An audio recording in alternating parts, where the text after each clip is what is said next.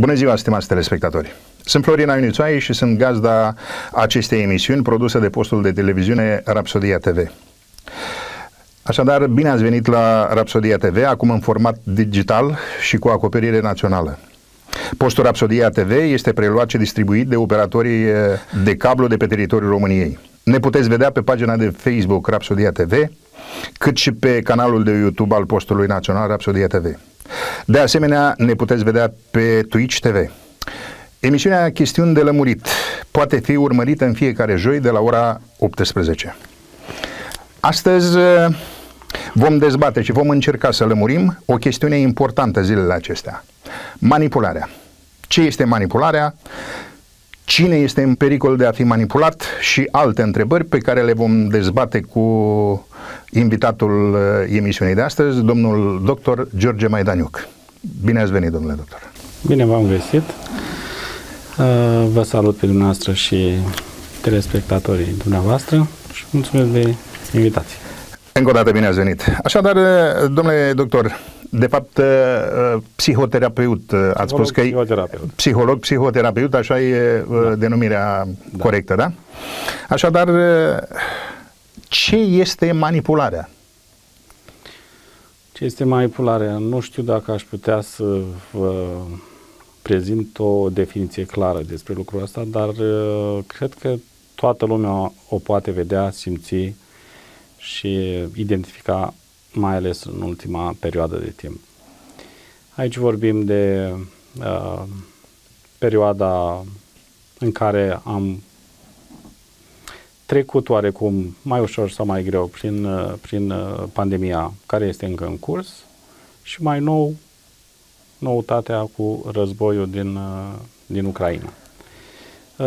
Manipularea îmbracă diferite forme aici, dar are un efect nociv și evident deja îl putem identifica ca fiind o chestiune, adică o problemă foarte des întâlnită în rândul populației. Da, Român. pentru că în război se spune că întotdeauna adevărul moare în război și observăm că fiecare parte încearcă să ne transmită un mesaj și partea A și partea B din conflictul actual. Da. Uh, da. Cine e în pericol să fie manipulat? Uh, deci, în primul și în primul rând, unde funcționează manipularea? Așa ar trebui să ne punem problema. Uh, cei mai ușor de manipulat, adică mă refer aici la indivizi, la oameni, sunt cei care au un nivel al uh, uh, uh, inteligenței uh, mediu, să spunem așa, sau spre mic. Manipulabili sunt și cei care sunt îndoctrinați în timp cu, cu informații, sau mai bine zis, bombardați cu info, informații uh, uh, ireale, pe care la un moment dat încep să le creadă încep să le expună și mai mult decât atât le mai și promovează.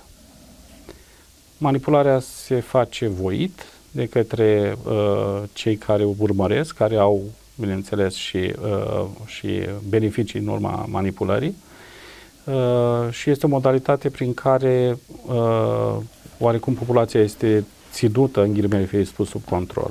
Este cea mai ușoară formă de a de a induce frică, teamă, dezorganizare și ulterior a prelua controlul. E vorba de control, practic. Înțeleg că uh, cel mai interesat sau cei mai interesați de manipulare sunt, uh, de fapt, vârfurile piramidei lui Maslow. Uh, Din piramida trebuințelor, da, am da. ce spuneți, dar uh, Vedeți, dumneavoastră, dacă ne gândim la, uh, la aceeași uh, piramidă lui Maslow, în baza piramidei stau uh, trebuințele basic, să le spun așa, cele pe care omul le, pe care se poate baza, care țin de trebuințe, care țin de nevoi, de nevoi personale și așa mai departe. Acele trebuințe, dacă sunt uh, alterate prin manipulare, ceea ce este mai sus pe piramidă nu mai are sens. Deci, uh, practic, ceea ce se întâmplă acum, mai ales cu criza uleiului, că e de actualitate. Voiam să ajungem și la crizele, crizele da. astea induse. Da, ce i s-a luat uh, omului, practic, sau ce i s-a indus omului? Uh, i s-a activat uh, uh, cum să spun, programul de supraviețuire. Vezi, nu mai au ulei. Toată lumea s-a îmbulzit după ulei. Ce să facă? Și-a luat un bax în plus. O să trăiască o zi în plus, o săptămână în plus. Uh, deci, uh, asta nu e o formă de manipulare, ci pur și simplu a fost o scăpare în media care a promovat oarecum uh, lip, unele lipsuri.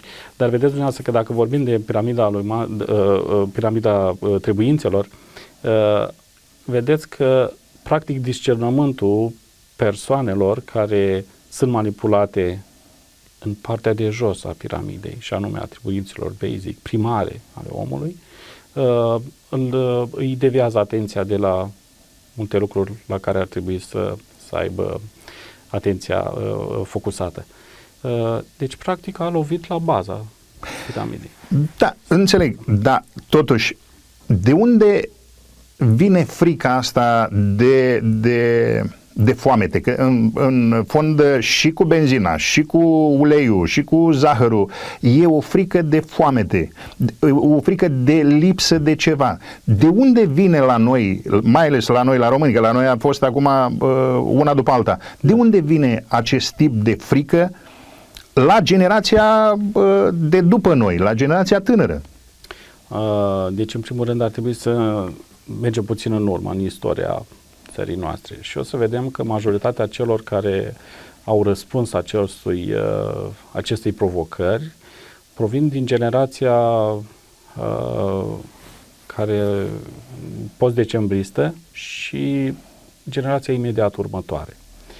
Uh, după cum bine știm, uh, aceste uh, bunuri care, pentru care acum lumea se bate mm. în magazine, uh, erau date sub o anumită uh, rație, știți. Erau da. cartele, tot felul de... Uh, uh, se vindeau aceste produse sub, uh, sub un anumit control. Uh, deci sunt oameni care s-au născut sub acel uh, regim, au trăit majoritatea vieții sub acel regim, uh, iar uh, în momentul în care îi se activează programul învățat atunci, acea rețetă cu care a fost îndoctrinat, uh, reacționează exact la fel. Asta se întâmplă acum. Dacă vă uitați la benzinării, la cei care cară baxurile de uh, hârtie igienică, de ulei și așa și zahăr și așa mai departe, exact acei generații. Despre această generație vorbesc. Uh, evident, și generația următoare, când uh, uh, copiilor uh, încă au mai preluat din rețetele învăț- învățate la părinți, pentru că uh, distanța transgenerațională este relativ mică. Uh, iar acum că veni vorba de manipulare, după cum știm, uh, sunt niște chestiuni care s-au întâmplat în educația uh, din țara noastră, care a generat niște uh, indivizi și, niște, și o nouă generație care este mult mai ușor manipulabilă. Din cauza faptului că au fost niște drepturi, probabil, așa cum îmi amintesc, greșit înțelese cu privire la democrație. Și cam de acolo cred eu că se trage această problemă. Uh, rezultatele testelor PISA arată că 40% uh, din uh, elevii absolvenți de clasa 8 parcă nu? Acolo se dă testul da. PISA. Sunt analfabeți funcționali. Dar noi știm că există mai multe trepte de analfabetism. Da. Ăștia 40% sunt de pe treapta cea mai de jos. Nu? Me- da, mediu spre jos, da.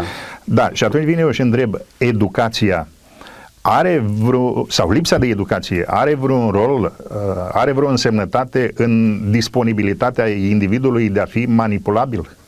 El nu își face nicio disponibilitate, ci pur și simplu cei care încearcă să manipuleze și îndreaptă uh, Uh, mecanismele de manipulare asupra celor care pot recepta acest tip de comportament. Tocmai, tocmai asta, asta, uh, a, asta voiam să întreb. Expuși.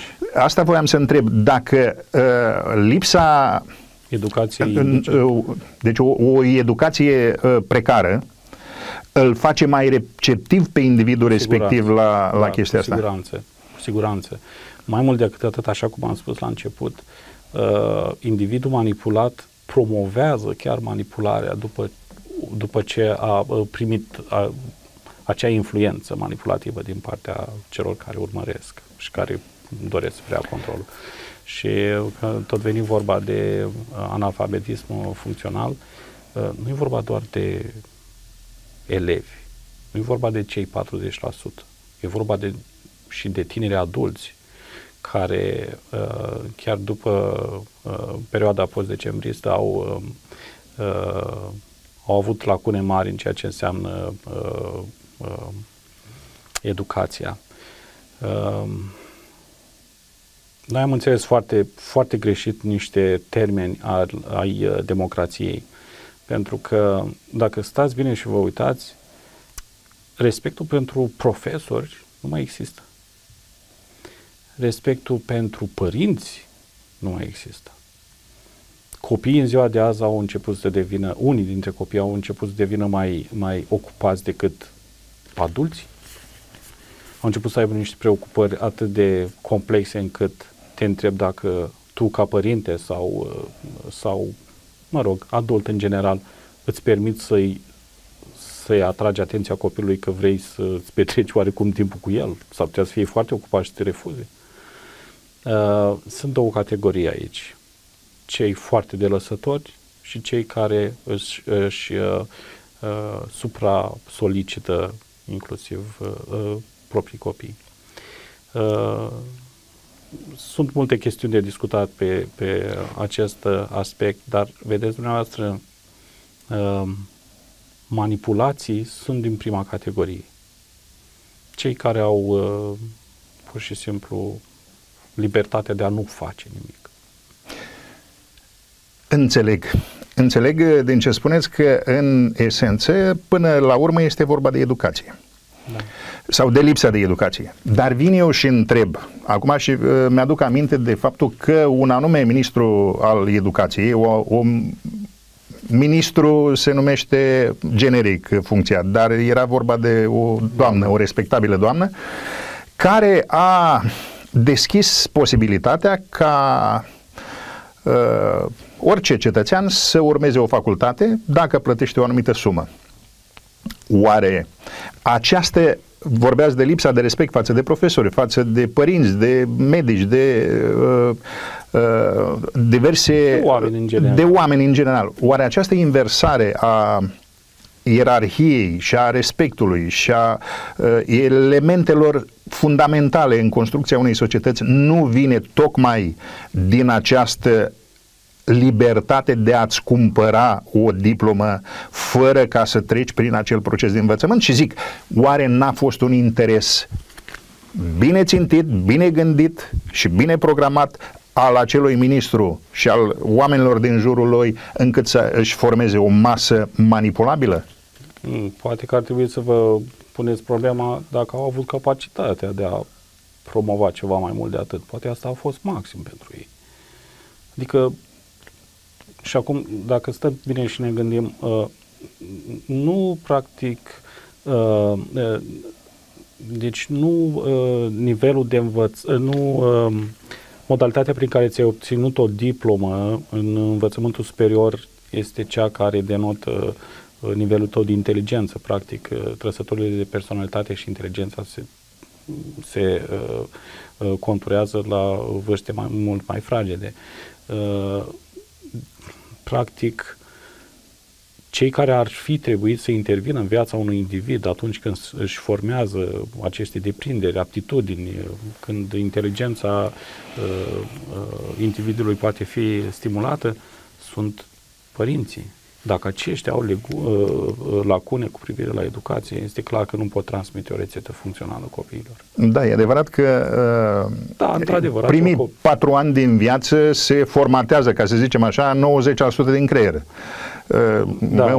De între 4 și 7 ani uh, se mai formatează încă 9% și până la 10 ani se reformatează restul și atunci e, e baza educației. Da, doar că atunci când lipsește părintele din această uh, formatare, cum am spus-o, și când lipsește intelectual, la asta mă refer, când lipsește intelectual, pentru uh, copilul lui, uh, uh, va trimite în viitor un individ care, da, asta va urma, o licență sau, mă rog, o uh, modalitate de a obține o diplomă într-un fel promovat de acea persoană, acel ministru.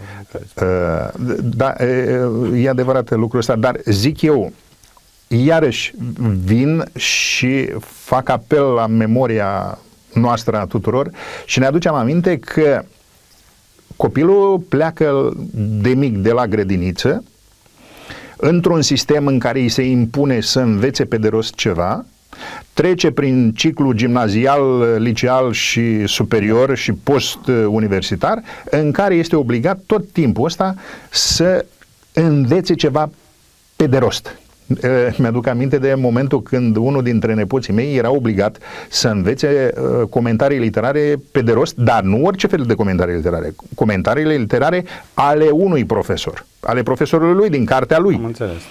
Da. Eh, deci, zic, în dorința noastră de a face un individ independent, dacă vrem să-l facem independent, contra a face un individ dependent, educația n-ar avea o, o responsabilitate? Cu siguranță are. Deci, practic, autonomia unui individ uh, ar trebui promovată și de sistemul educațional. Uh, ar trebui promovată încă de, din, uh, din primele, din copilăria timpurie. timpurie. Ca să vă dau așa un exemplu, ce aș putea spune? Când un părinte își vede copilul într-o, într-o zonă de disconfort creată de o, de o situație pe care nu o înțelege, uh, ar trebui să vadă că este atent în, în a ajuta uh, spre a înțelege acel lucru. Iar când, uh, când lucrul ăsta se întâmplă, să intervine doar pentru a-l stimula, pentru a-i stimula, în primul rând, creativitatea. Vorbim de, de uh, copilăria timpurie. Acesta este individul care ulterior va putea genera situații autentice, specifice lui, de asta, uh, practic de asta ne chemăm și indivizi, ne individualizăm pe măsură ce autonomia începe să uh, să se contureze. Bun, uh, ce face sistemul educațional de multe ori? Uh, uh, trage o linie și pune toți indivizii să facă un anumit un anume lucru. Bine, e vorba de o programă care trebuie respectată, nu punem la, în discuție lucrurile astea.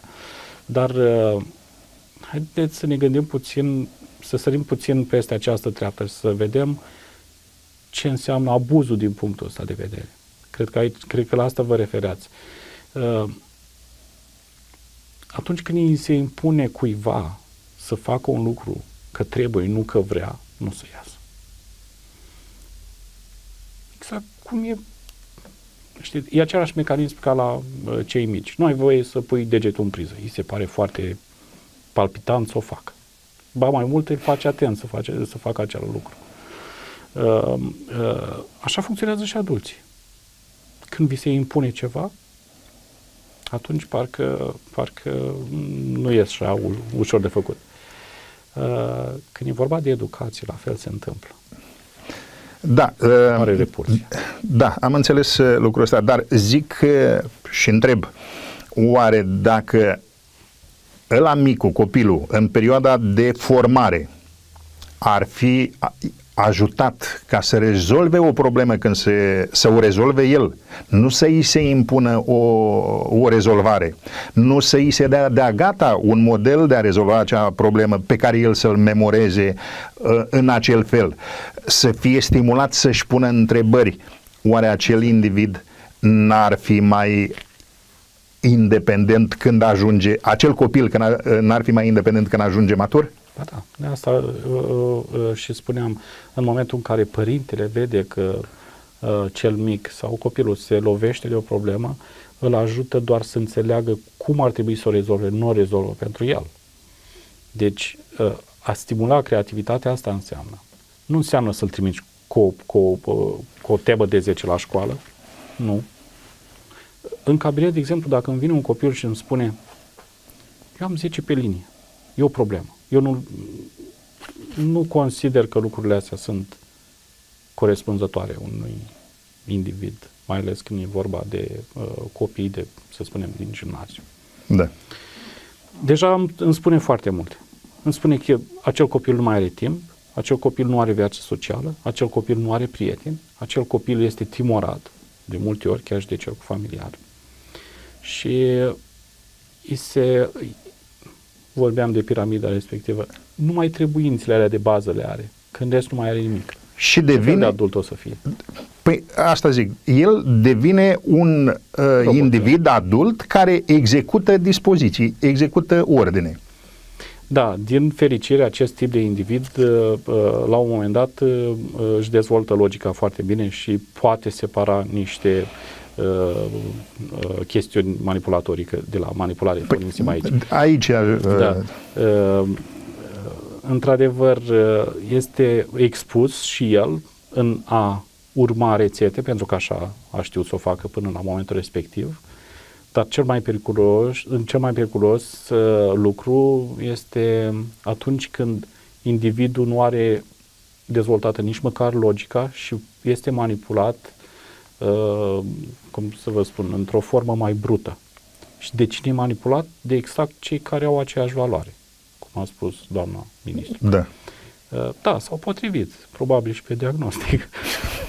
așa dar uh, analfabetismul funcțional lucrează la toate nivelurile, inclusiv Păi, despre, despre, uh, am făcut această incursiune în uh, educație încercând să înțelegem de ce un ins care vede o informație pe Facebook în care îi se spune despre vaccin, de exemplu, că e toxic, uită sau că nu e bun pentru că trebuie să facem două, trei vaccinuri, uh, uită foarte repede de faptul că atunci când te tai, te duci și faci vaccin uh, și faci de fiecare dată când te tai, uh, antitetanos. Dacă te mușcă câinele, care e ne, necunoscut, cu un istorie, te da. duci și faci uh, vaccin de fiecare dată.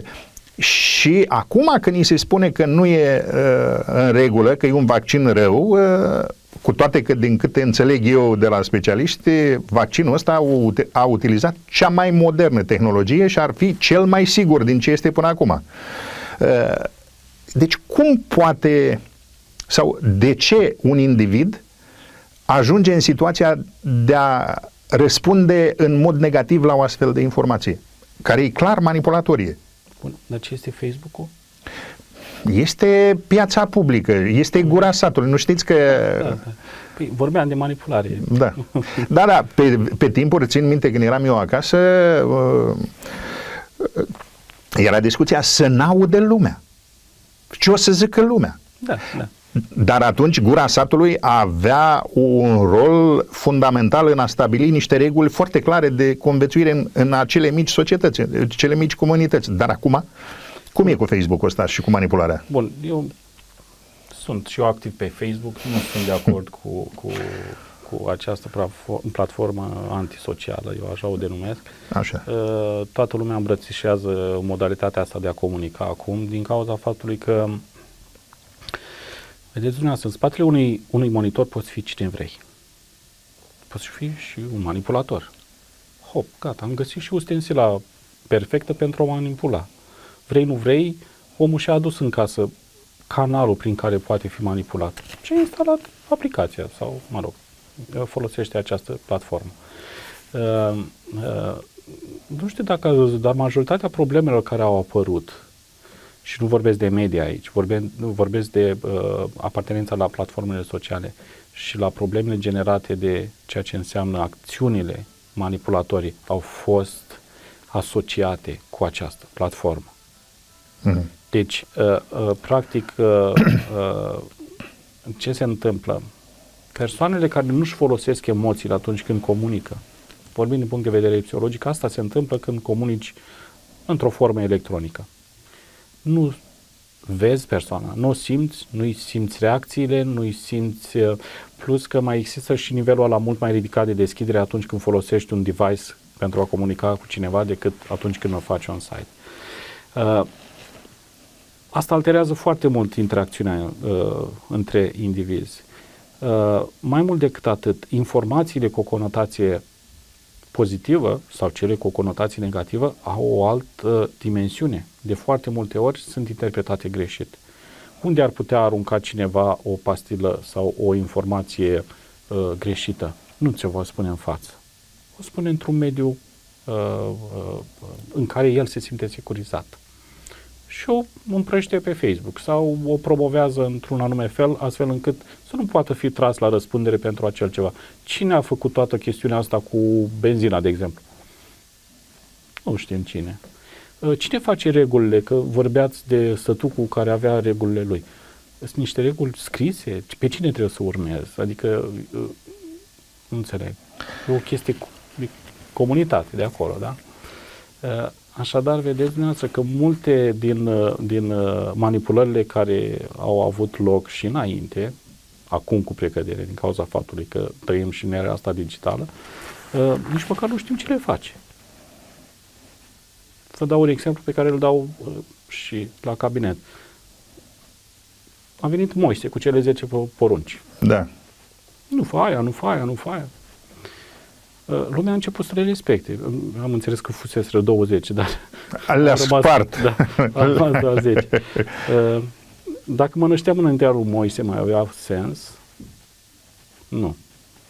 Uh, asta se întâmplă și în ziua de azi. Urmăm niște reguli pe care nu știm ce le-a făcut, Uh, mai mult decât atât, trăim prin, uh, uh, avem niște trăiri care uh, sunt asociate cu acele reguli, pe care iar nu știm ce le-am făcut, ne plângem de ele și mai luăm și atitudine. E un paradox.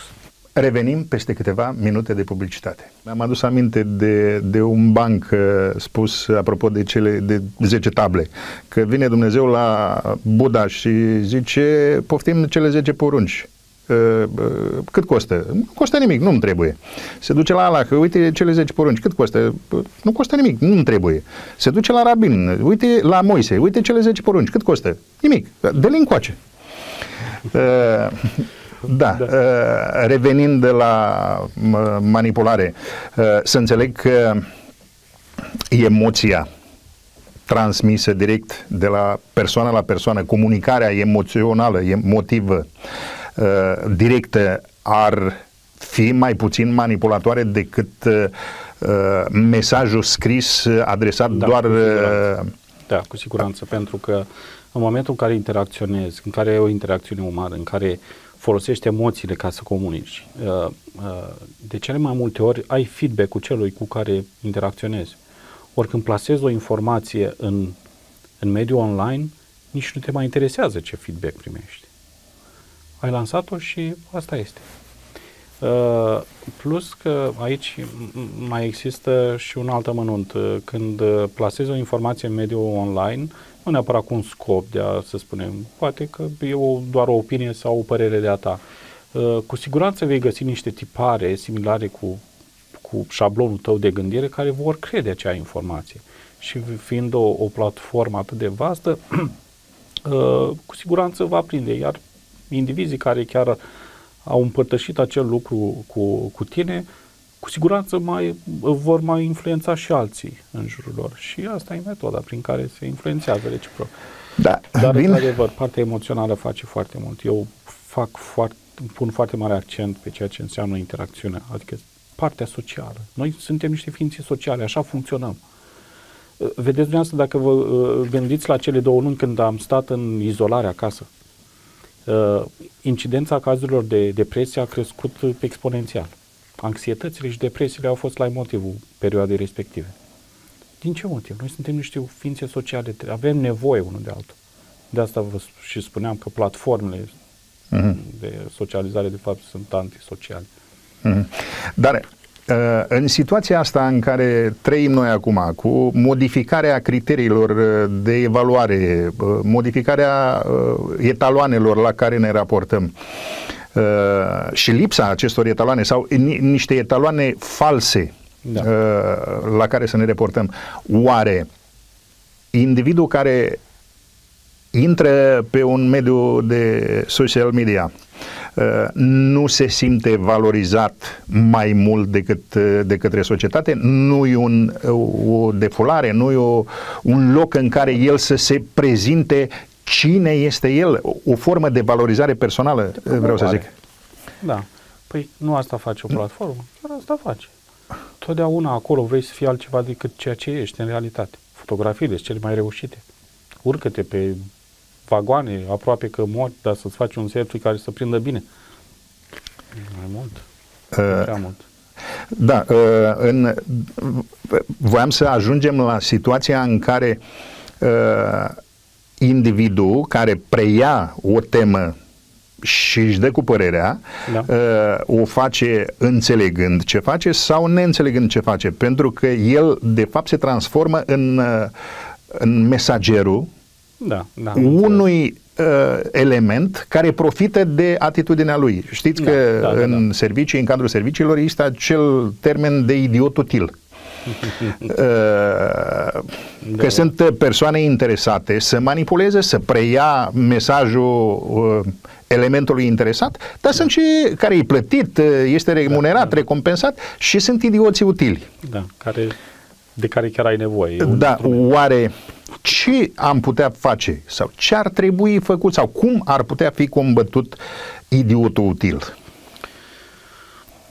Aici, uh, din păcate, nu văd o rezolvare la problema asta, pentru că, oricum, o societate are nevoie și de ei. Este singura modalitate prin care uh, uh, sunt puși în valoare cei uh, uh, indivizii uh, cărora le mai merge și mintea. Dar nu ai putea să uh, uh, nu ar putea exista o societate doar de indivizi super uh, uh, intelectuali sau, mă rog, care au un IQ mare.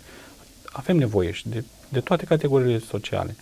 Uh, ideea este, eu cred că mi-aș pune așa întrebarea, din ce motiv uh, ar fi nevoie de asemenea oameni în acest moment sau în momente cheie, cel puțin din punct de vedere al istoriei, uh, la momentul ăsta, pentru că, vedeți dumneavoastră, exact de aceste persoane ne fol- se folosesc acum uh, pentru a uh, împărți informațiile, pentru a promova niște lucruri fake, vorbim de fake news acum, uh, uh, vorbim de manipularea masă și, cum să vă spun, lucrurile astea vor reseta o parte din societatea românească Până la urma urmei, dacă ne uităm puțin în istoria omenirii, vedem că lucrurile astea s-au întâmplat ciclic. Și oarecum am putea și prezice următorul pas. Până la urma urmei vom ieși din, toată, uh, din toate chestiunile astea. Dar, uh, într-adevăr, acele persoane sau acei indivizi care sunt prezenți acum în social media, în, uh, în, pe platforme sociale, au un anume grad de inteligență care le permite să promoveze niște lucruri care nu sunt adevărate. Aici aș uh, putea să vă contrazic un pic sau nu. Coefici- coeficientul de inteligență este important sau educația? Oare, Pentru că...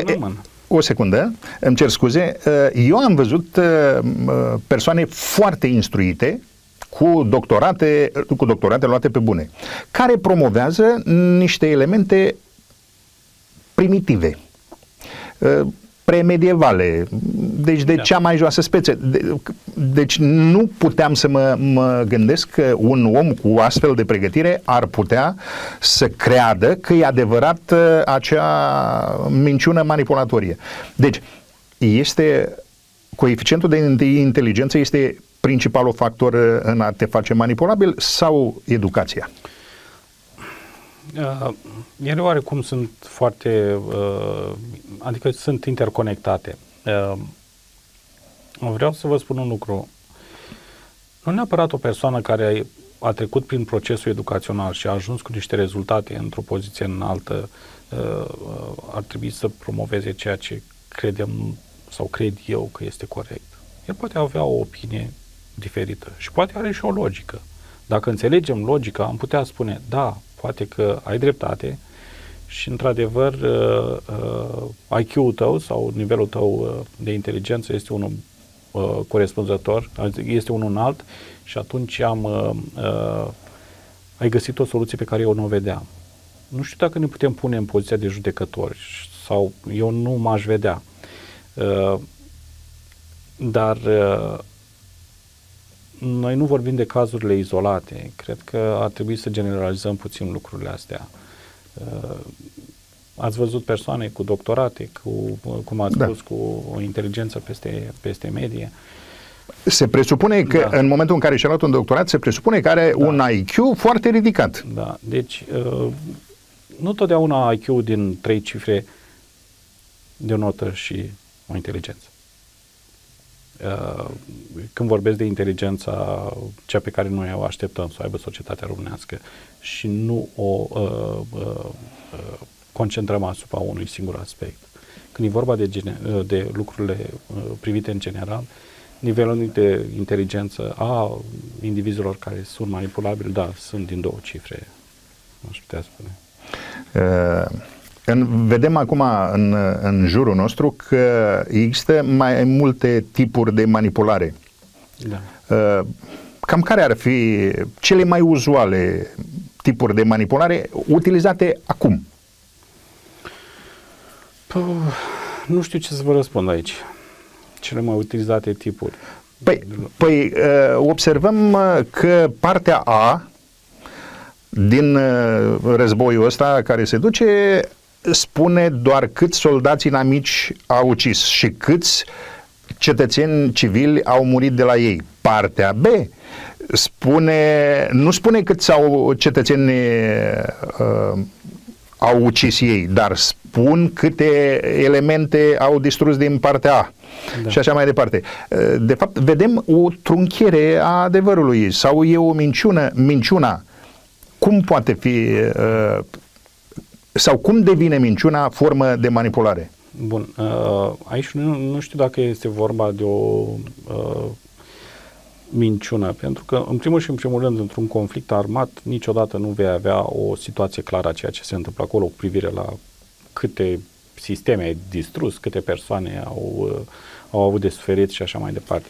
Uh, toate sunt niște supoziții. Cel puțin atâta timp cât conflictul este activ, nu văd o... Uh, deci toate, toate uh, uh, informațiile de, de pe uh, media uh, sunt uh, generaliste.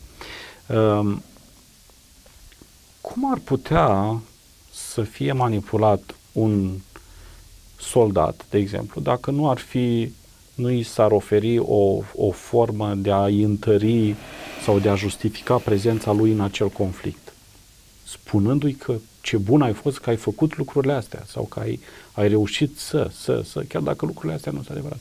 Acel, uh, acel individ va pleca să continue uh, a, a, acea chestiune, mm, acel, uh, cum să spun, acel ideal pentru care uh, a fost trimis acolo.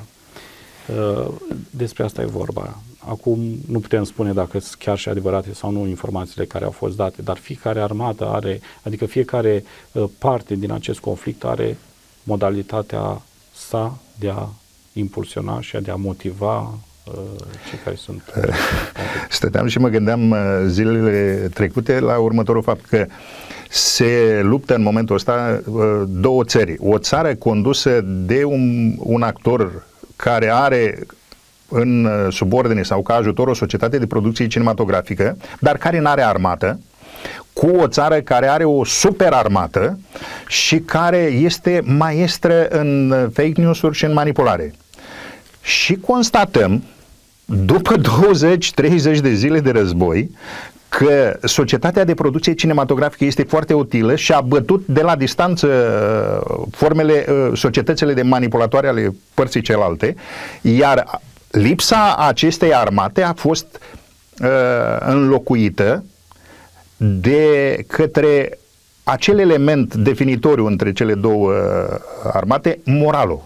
Moralul care a fost uh, ridicat de o persoană în da. speță uh, președintele Zelenski, care e un actor și care eu văd că utilizează foarte multe forme de manifestare și de comunicare specifice meseriei din care uh, vine.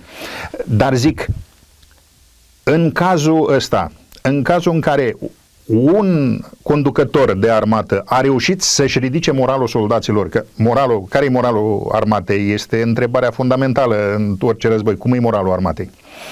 Deci a reușit să ridice moralul armatei ucrainene și celălalt n-a reușit să ridice moralul. A, uh, soldatul rus are un moral foarte scăzut.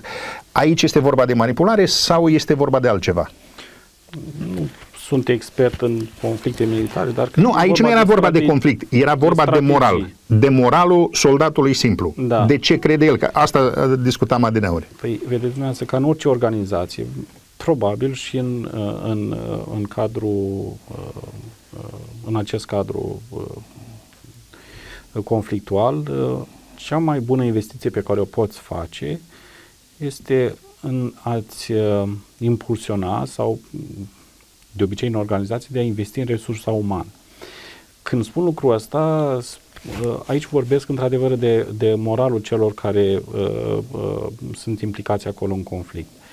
Uh, că o face din poziția de actor sau din poziția uh, de uh, uh, agresor, cum uh, nu aș putea spune cum funcționează, dar moralul, într-adevăr, când, uh, când este ridicat, uh, scoate din individul respectiv niște veleități care, de care uneori poate că nici nu era conștient.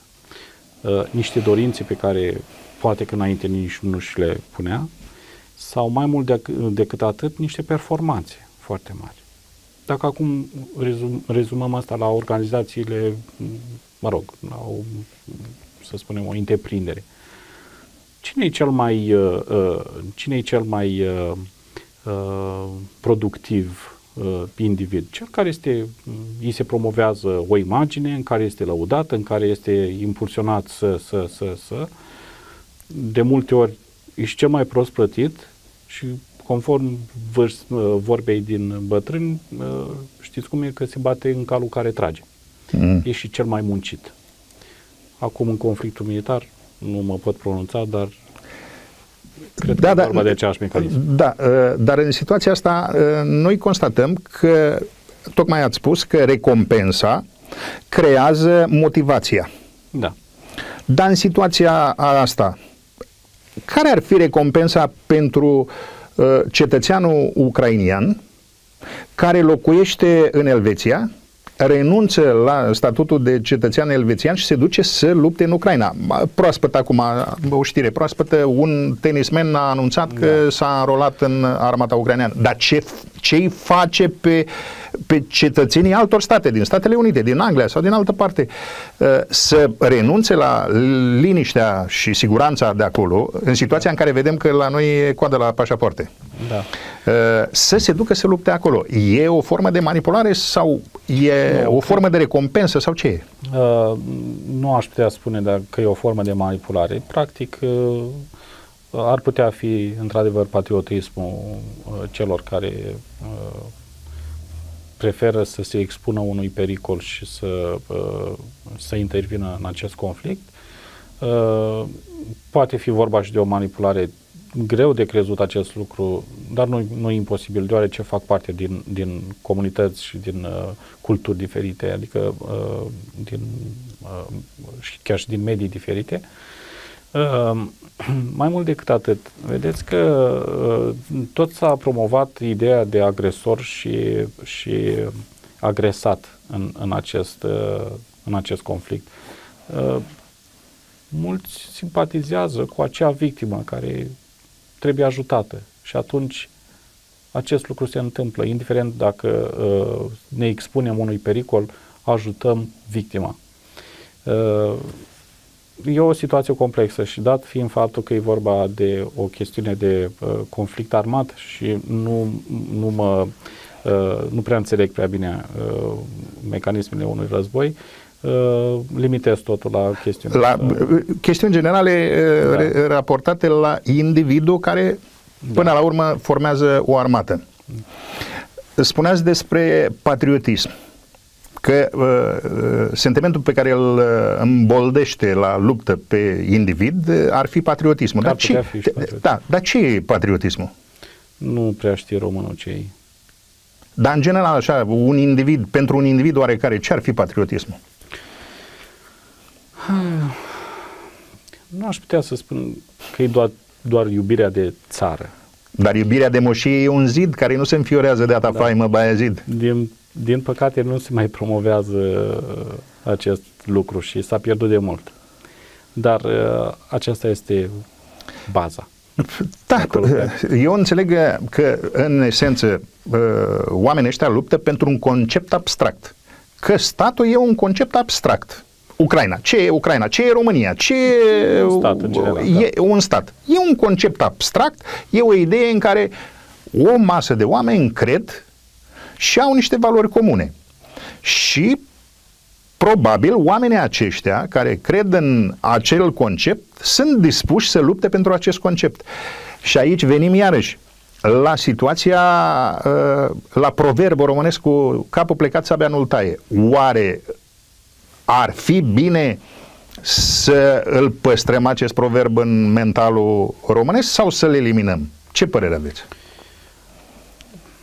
Ce ar fi dacă nu s-ar ajunge acolo? Nu, vorbeam de proverb. Știți Strict ce spune? Proverb, da. Știți ce spune? Uh, Cap, dragul mami, cap plecat sabia nu taie. Obediența nu mai este un, uh, un, uh, uh, un atu și nu mai este o, o cum să spun, o calitate a omului în ziua de astăzi. Uh, eu aș, uh, aș vedea lucrul ăsta în felul următor. În momentul în care devii obedient, uh, predai cuiva putere.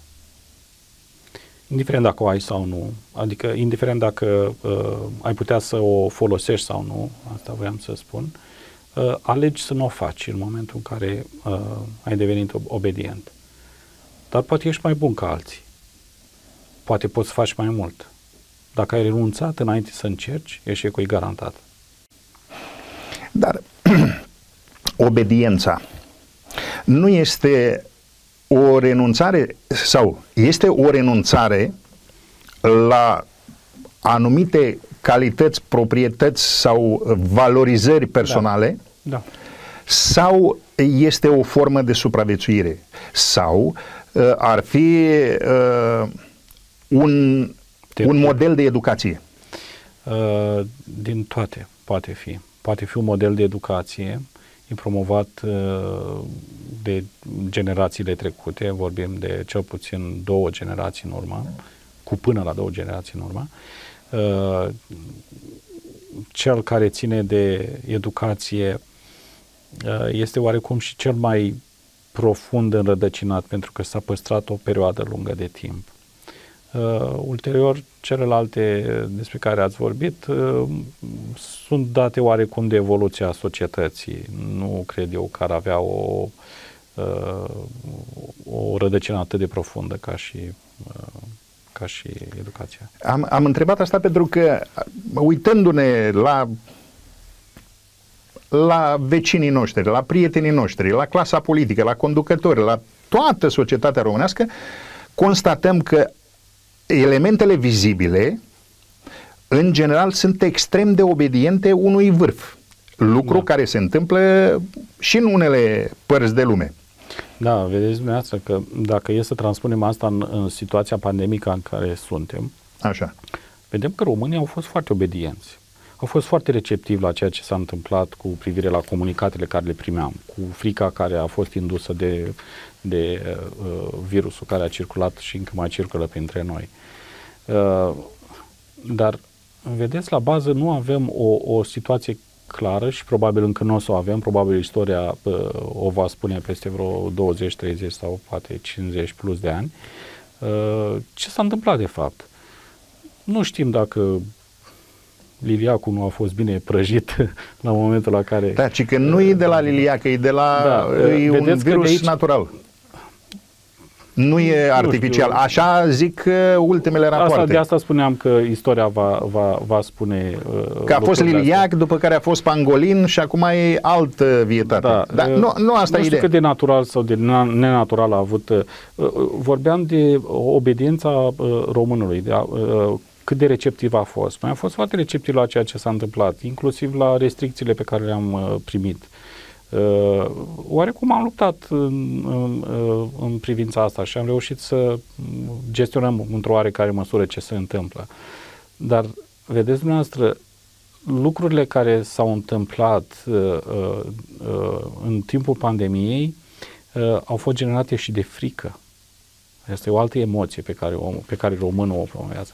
El de frică a făcut de multe ori ceea ce trebuia, în ghilimele fie spus, să fie făcut. De, de care e frică? Frica de o sancțiune administrativă sau frica nu, de boală? Nu, nu, frica de, de, de boală. Pentru că, na, sistemul medical la noi este cum este uh, și necunoscutul. Deci, orice, orice om care simte uh, uh, că se apropie de un eveniment inedit, necunoscut, uh, frica este cel ca, uh, emoția și anume frica este cea care guvernează și uh, uh, el își ajustează comportamentul în funcție de acest lucru. Bine, frica nu este ceva rău, ei chiar ne ajută uh, pe noi ca indivizi, dar, uh, dar uh, românul este, este foarte receptiv și a fost foarte receptiv în privința asta. Acum uh, vom vedea care au fost și repercursiunile uh, pandemiei până când nu se sfârșește, nu vom ști.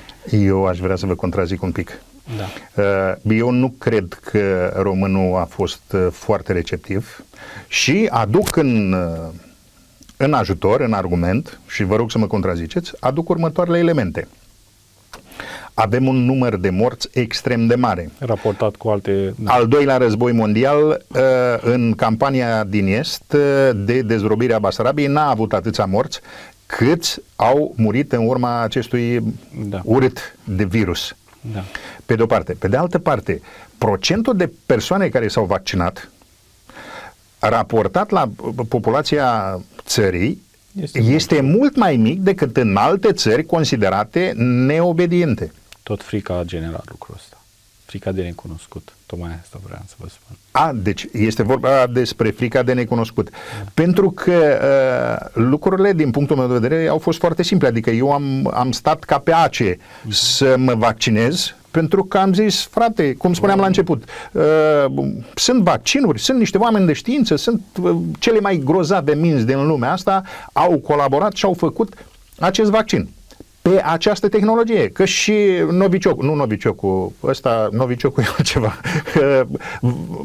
vaccinul rusesc și vaccinul chinezesc, Sputnik. Sinovacul și uh, astea europene și americane utilizează aceeași tehnologie. Uh, nu, din câte știu, uh, doar două folosesc vectorul viral și uh, restul folosesc uh, uh metoda RNA mesager. Și iarăși revenim la educație și la interesul manipulatorilor. Care ar fi interesul manipulatorilor? Eu, dacă vreți, speculăm. Și aș, aș, aș încerca nu, cum nu știu, vreau să fie speculația dumneavoastră, care da, e o părere. Uh, eu tot timpul am spus că dacă totuși uh, nu a fost uh, o chestiune atât de naturală apariția acestui virus, câte, câteva guverne își freacă mânuțele acum de, pentru că am scăpat de, de ceva pensii. Nu aș vrea să intru în... în Aici vreau să vă contrazic, nu vă uitați cuvântul, vreau să vă contrazic, dar guvernul, guvernele românești, eu înțeleg și cred, din ce am văzut că, cum au acționat, că au făcut totul ca să ne, ca să-i protejeze pe cei în nevoie, adică să protejeze viața, că în fond despre asta vorbim, de protecția vieții. Bine, nu deci, avem mecanisme. Au încercat, da, am înțeles. Deci au încercat. De, de asta încercat. putem să-i acuzăm de orice, dar de asta nu. Da. Așa, așa continuați, vă rog. Da, uh, ce vreau să spun? Deci asta ar fi una din chestiunile pe care aș spune că o speculez. Uh, a doilea lucru pe care îl văd mult mai, uh, mai coerent, să spun așa, este dat de faptul că Mm, așa cum spuneam și la început, ciclic niște lucruri se vor reseta și s-au resetat tot timpul în, în, uh, în evoluția noastră, în evoluția umană. Uh, uneori chiar uh, avem nevoie de o situație, nu neapărat uh, tragică, că acum avem și foarte multe persoane decedate, dar avem nevoie ca, ca societatea să se reașeze Uh, au apărut tot felul de teorii că trebuie să mai moară nu știu câte persoane, că suntem prea mulți și așa mai departe. Nu știu dacă chiar nu mai avem loc pe pământul ăsta, dar uh,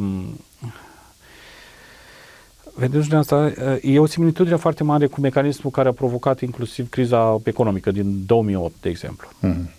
Inclusiv până și piața imobiliară a trebuit resetată, până și, și uh, uh, criza sanitară de acum a resetat unele lucruri. Uh, haideți să privim așa, ca din poziție de martor, ce s-a întâmplat cu, uite, spitalul din Botoșani.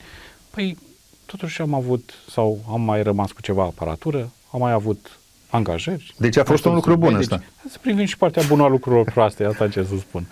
Uh, acum vreau să încercăm să ne apropiem de, de finalul acestei emisiuni și aș vrea să uh, concluzionați un pic uh, ce am discutat astăzi cu referire la ce este manipularea și de unde vine ea. Da, dacă am ști exact de unde vine manipularea, am ști cum să ne ferim de ea. Manipularea este metoda cea mai bună de a uh, reașeza, cum am spus, lucrurile într-o societate. Din păcate, uh, uh, societățile care, uh, în societatea românească este mult diferită de alte societăți și, din păcate, la noi manipularea are un impact foarte mare.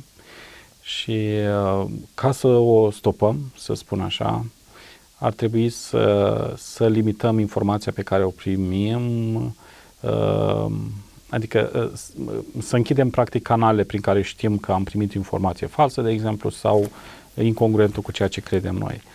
Uh, aici chiar vorbesc de uh, platformele sociale și din păcate eu nu sunt de acord cu forma prin care se transmit informațiile, cu această formă prin care se transmit informații. Din păcate au început să apară și prin uh, alte metode, tot, tot uh, electronice, uh, nu neapărat prin platforme sociale, pentru că sunt și posturi de televiziune și posturi de radio și am ascultat și chiar și din afară uh, uh, niște posturi de televiziune uh, care folosesc cam aceleași metode. Din păcate nu o să putem stopa lucrul ăsta, ci doar dacă ne pregătim și vom ști cum să reacționăm atunci când apar tot felul de informații fake. Am înțeles uh, în urma discuției de astăzi cu domnul doctor uh, George Maidaniuc că manipularea este un fenomen uh, care nu poate fi stopat foarte ușor, că, dar că el ar putea fi redus prin educație, educație în familie, educație la școală, prin dezvoltarea unui ins, uh, unui ins independent care poate să își pună întrebări și să facă analize asupra informației pe care o primește. Și mai mult decât atât uh, spune domnul doctor că comunicarea emoțională, comunicarea de la om la om, ar fi un element care ar putea împiedica manipularea. Atât a fost pentru astăzi, doamnelor și domnilor. Ne vedem joia viitoare la 18 la chestiuni de lămurit. Până atunci, să fiți sănătoși!